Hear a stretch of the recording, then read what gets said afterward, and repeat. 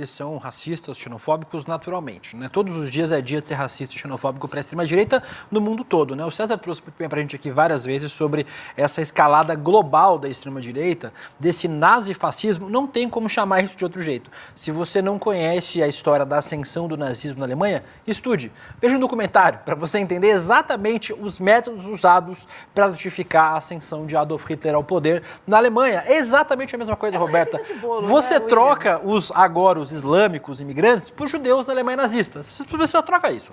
É exatamente a mesma coisa. O risco do estrangeiro, o risco do diferente. É isso que eles estão fazendo agora, repetindo essa fórmula novamente. Não precisam de desculpa, então eles inventam desculpas às vezes para justificar os seus atos de violência, como a gente está vendo agora no Reino Unido. Não é novo, é uma receita antiga, funciona na- no Reino Unido, na Alemanha, na Itália, na França, em todos os lugares. É o ódio ao diferente.